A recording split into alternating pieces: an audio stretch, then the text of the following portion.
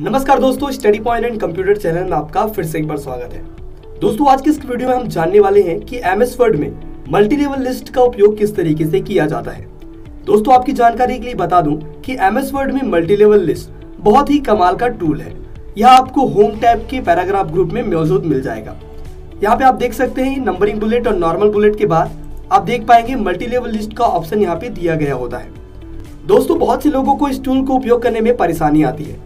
तो चलिए, आज बहुत ही सिंपल तरीके से जानते हैं कि इस मल्टी लेवल लिस्ट का उपयोग आप किस तरीके से कर सकते हैं वह किन जगहों पे कर सकते हैं। दोस्तों मल्टी लेवल को नाम से पहले समझिए। मल्टी लेवल मतलब होता है कि अलग अलग लेवल की चीज़ों को मिलाकर एक लिस्ट बनाया जाना। जैसे कि यहाँ आप मल्टी लेवल लिस्ट भी क्लिक करके देख सकते हैं। यहाँ पे आपको अलग अलग तरह का मल्टी लेवल दिया हुआ है। जैसे कि वन ए फिर उसके अंदर में रोमन संख्या में एक और वन दिया हुआ है। यहाँ पे आप देख सकते हैं, यहाँ पे दिया हुआ है one one point one one point one point one और ऐसे ही ये क्रम आगे बढ़ाया गया है। यहाँ पे आप बुलेट्स में देख पाएँगे, यहाँ पे नॉर्मल बुलेट्स लिया गया है, जो अलग अलग तरह का दिख रहा है।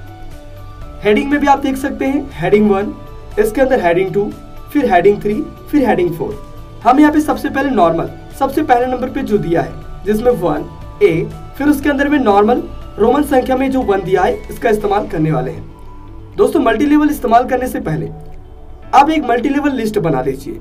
जैसे कि हम यहाँ पे उदाहरण के लिए बनाते हैं।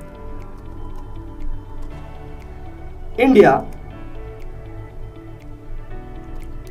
छत्तीसगढ़। और रायपुर। दोस्तों, इंडिया एक कंट्री का लेवल है। सीजी यानी कि छत्तीसगढ़ एक स्टेट का लेवल है। और रायपुर यानी कि एक सिटी जो छत्तीसगढ़ के अंदर आती है। ये एक सिटी का लेवल है। इसको मल्टी लेवल लिस्ट बनाने के लिए हम पहले इसे सिलेक्ट करेंगे। सिलेक्ट करने के बाद हम जाएँगे मल्टी लेवल लिस्ट में। यहाँ पे जाने के बाद हम पहले नंबर का मल्टी लेवल लिस्ट इस्तेमाल करना चाहते हैं, जिसमें हम चाहते हैं कि इंडिया एक में और छत्तीसगढ़ ए में और रायपुर हमारा रोमन संख्या का वन में आए। हम इस पर क्लिक करते हैं। आप देख पाएँगे यहाँ पे मल्टी लेवल लिस्ट अभी इस्तेमाल नहीं हुआ है। इसे इस्तेमाल करने के लिए हम यहाँ पे दो और नए टूल्स का इस्तेमाल करेंगे, जो होता है इंक्रीज इंडेन और डिक्रीज इंडेन इंडियन को बढ़ाना और इंडियन को कम करना। दोस्तों, हमें इंडिया को वन में रखना है। इसलिए हम इसे वन में रहने देंगे। जबकि छत्तीसगढ़ को हमें लेके आना है ए में। इसके लिए छत्तीसगढ़ में सी के पहले क्लिक करें। और यहाँ पर यूज़ करिए इंक्रीजिंग इंडेंट अब देखेंगे यहाँ पे एक इंडेंट क्रिएट हो जाएगा। अब ठीक वैसे ही रायपुर को हमें इंडिया और छत्तीसगढ़ दोनों के अंदर लेके आना है। यहाँ पे हम इंक्रीज इंडेंट दो बार इस्तेमाल करेंगे। एक और दो। यहाँ पे आप देख पाएँगे हमारे पास मल्टी लेवल लिस्ट यहाँ पे इस्तेमाल हो चुका है। ऐसे ही बिल्कुल आसान तरीके से आप मल्टी लेवल लिस्ट का इस्तेमाल कर सकते हैं। दोस्तों इंडिया के नीचे जैसे आप और कोई कंट्री का नाम लिखना चाहें, जैसे कि श्रीलंका, पाकिस्तान, इस तरह से आप कंट्री के लेवल जब लिखते जाएँगे तो ये कंट्री के लेवल में आएँगे।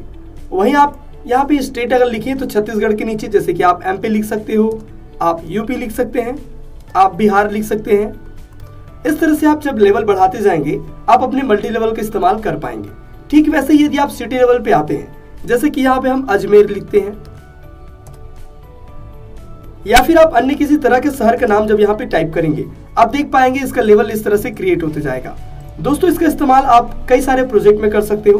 प्लस यदि आप किसी तरह का क्वेश्चन पेपर डिज़ाइन कर रहे हैं तो यहाँ पे यूनिट नंबर वन का क्वेश्चन नंबर वन का वन टू थ्री फोर या फिर यूनिट नंबर वन का क्वेश्चन नंबर ए का वन टू थ्री फोर इस तरह से आप अलग अलग लेवल्स का इस्तेमाल करके मल्टी लेवल इस्तेमाल कर सकते हैं। तो दोस्तों, मैं उम्मीद करता हूँ कि आपको मल्टी लेवल इस्तेमाल करना आ गया होगा। यदि आपको ये वीडियो अच्छा लगा हो, यदि आपको यह टूल समझ में आया हो तो कृपया वीडियो को लाइक ज़रूर करें और इस चैनल को सब्सक्राइब ज़रूर करें। इस वीडियो को देखने के लिए आपका धन्यवाद।